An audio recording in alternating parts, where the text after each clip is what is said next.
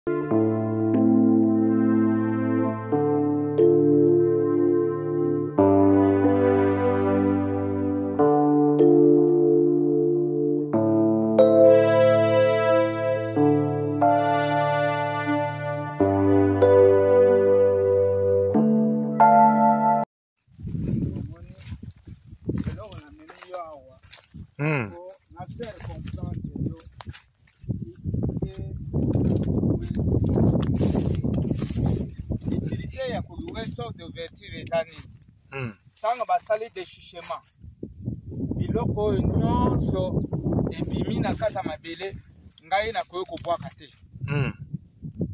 soki ngai nabwaki ezali maka ganye ya ngai motu nasali wana hmm. auparavant ntango ngai nayaki nayebi fulu te nazalaki nazwi biloko oyo nyonso natumbi na ngai moto hmm. nakei me baninga oyo bayebi fulu nde operdaka mbongo na yo tala neti ngai 3 hectare et demi ekozonga na ba full oyo mm. oyo full biloko ewuti oyo tosali desistement mm. bato basali debardage ekobima na 3 hectare oyo ebimi deux full fulu mosusu eza kuna fulu mosusu yango oyo mm. oyo basilisi nano te nazozela soki basilisi koklase fulu awa nyonso tracteur ekoti fulu eza kaka awa bakundi mpe batie moto place oyo mpe ekopermettre ngai ya kotia germoire ya biloko okay. oyo ngai na kolona ni tomate aubergine eh, eh, de nani solo donc place osali osali nini four awa eh. moto wana etikala mwa wana ba bapoussière wana ah. epesi yo vraiment esika ya malamu mpona kosala germoire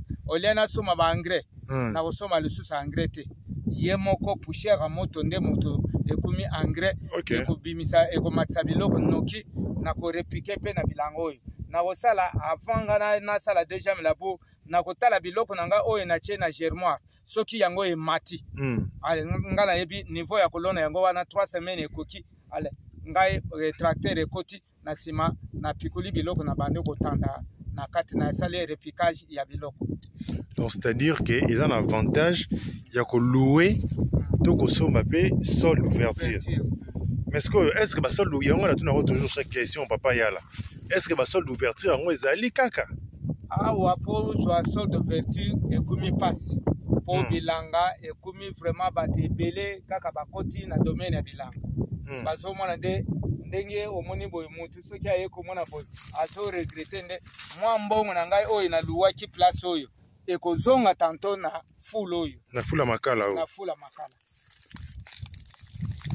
donc fula oyo deja epermettre ozwa mbongo obimisi basaki ya makala awa ah, tanto mbongo ya premier labu nakobimisa mbongo ya ndako na ngai hmm. mais deuxième labu fulu nde mutu ye moko terrain oyo efuti nga mbongo moko terrain oloue eh, epermettre ngai nasala deuxième labu na mbongo na ye voilà osala labu na mbongo na mbongo ya ya makala ezwami awa hmm. alors papa yala euh, nalingi atunao motuna mosusu production ya, ya, ya sol d'ouverture na production ya bajachere eh, différence na yango ezali ndenge place oyo eh, soki tozobeta bale mm.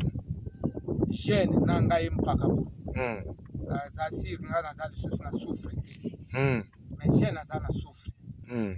saut d'ouverture place wana balonana na eloko te mm. biloko wana ekoti neti ya sika mm. malade place wana eza te bainsecte eoya mingi te yo okomona nde production eza mwa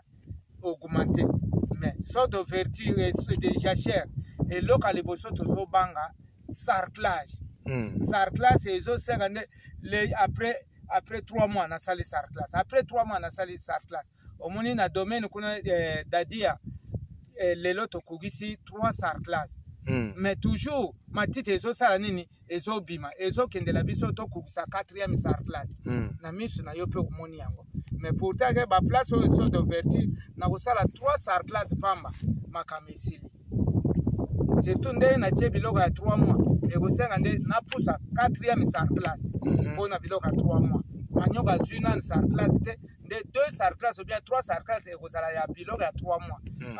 quatrième sar place eya kokweya na manioc bon tongo tuna yo moko louer 3 hectares mpo na, na, na sol d'ouverture baprojet na yo ezali nini babilo nini ozobonga ozobongama mpona olona ngai projet ya liboso awa ezali manioc hmm. eloko ya liboso ngai nakokufa na manioc manioc aza mare ata natie solo natie aubergine natie biloko wana ya 3 mois mais fin de compte eza nani manioko oh, hmm. mosala na ngai yango oyo ngai mpe naza moto ya bandundu naliaka loso te naliaka fufu hmm. ah. oliaka fufu ah. alors parce que ngai namoni manioko yango olingi yango parce que mama atekaka manioko oyebi ke bogarde kaka marché to eza vraiment kaka eloko oyebi to mabele repondaka na manioko selon yo mabele repondaka na manioko eza na biloko nakoki kotya ngwengi manioko eza na kati natye hmm. solo manioko eza na kati biloko nyonso oyo engai nakosala awa na terrain oyo manioko nakozangisa te mpo finalité manioko nde moto ekofuta nga mingi nango natuna question moko par rapport ya ndenge nazomona mama nayebi te pourquoi ozobenga awa sol ouverture naomona banzete bon c'est vrai nabengi sol d'ouverture te nga nayebisi yo ezali jagere oyo tosala ntango biso tosali efandi 6 ans mm. yango wana biso tozobenga nde ezali jachere ya 6 ans eza jachere ya 2 ans te mm. awa ezali jachere esali 10 ans neti place oyo ngai nalakisi yo kuna mm, mm. ngai na mesuraki avant mm. yo moto eye nsima eza classement tozo classe mm. moto oyo asima aye nsima akozwa na, na, na suka na ngai nakoki kozwa te oyo ya ngai napesa yo mpo misala na ngai nyonso nasali awa oseki yala yala ah, papa yala eh. bon obeti masolo manioka apart manioka olona nini na 3 hectare na na 3 hectare na ngai nakolona eh, solo hmm. ngai ne oyo nakotya solo nazomeka kotya eh, nani nameka nani mbika oyo tobenga modibutube na baluba mokengedi mokengedi yango esalaka un mois non 3 semaine kutu mokengeli esala 3 semaine te hmm. mokengeli esala 3 mois matiti nango matiti nango un mois et demi deja olie kasi matiti hein. soki ngai nakolia matiti nango ah, yo olingi mbala nde ngai nakosala nasala mpo na mbala eh, na mbika wana naliaka mbika hmm. eh, surtout biso badiabete lokola mbika wana ezala bololo na biso badiabetike eza bien ok ok maintenant sikoyo euh, euh, nini par rapport ya, ya, ya, ya bujibujibu wana nini matiti oliaka yango te matiti mpe naliaka nalia te mpo na ekoto etekamaka te etekama bateke balingaka mingi baluba mpe awa totondami na baluba bango baliaka mingi baliaka mingi eh. ba. vraiment eza kitoko makasi donc otie solo otie bujibujibu eh. otie na nini lisusu eh, naboyi aubergine nakotia te aubergine ezorendre biso mauvais service ezobima ndenge ebimaki liboso te ezosenga nde nasala badepense mingi hmm. nasomba baengrais nasomba insecticide hmm. biloko wana nazomona nde ezali perte ta bongo dongodongo dongodongo mpe ebima bien mais nalingaka te eh, biso awa nkai alingaka kosentir koyoka sola dongodongo te nyonso akokofe nyonso akokofe hmm. bongo bamadesu madesu vraiment na plateau maîtrise ya madesu toza na yango te bwana maîtrise ya madesu te ah. kaka mbwengi mbwengi esimba a 100 pourcent ah. ah. mbwengi esimbaka bongo kitire mosusu lokola baepinard epinard oyo ezali jardin te oyo ezali culture maraîchère te oyo ezali culture vivrière boprofite na mbula te te nalandanga bien hmm. culture vivrière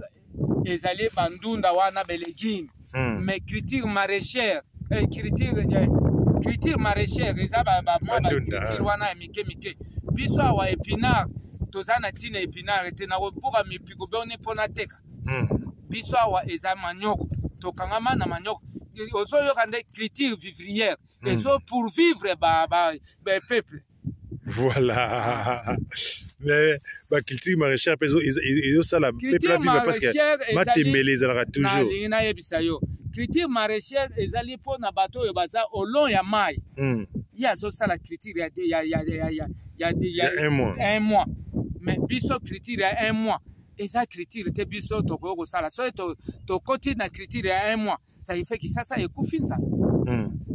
ba ba ba manioc ozala sote manioc eza te mais ça la ronde ni oyeba ki ça la manioc les ça ba ba kinois et les ça bato baza na pembeni pembeni esalako ndenge nini ngai esala ngai esengo ezali ngai nazo eh, soki ozali evangeliste na liloba na nzambe il fallait ozala evangeliste na, na baninga pour vivre ya baninga yo ozala mpe evangeliste ya koevangelise makambo oyo esengeli bato balia voilà tolandi yo malamu donc euh, topesi yo merci na ndenge opartagera toujours savoir euh, na yo na balandi ya fantastique info oyo bapona yo papa yala oyo explike yo bango makambo nayebi te soki oza na likambo so ya kobakisa ngai likambo nabakisa toujours baoyo bazolanda ngai oyo azali na mwa moyen ya bien alanda te kosomba jeep ya cher aluka moyen asomba tracteur soki asombi tracteur eye kofanda awa akozwa mbongo koleka moto oyo aza na jeep jeep eza eloko moko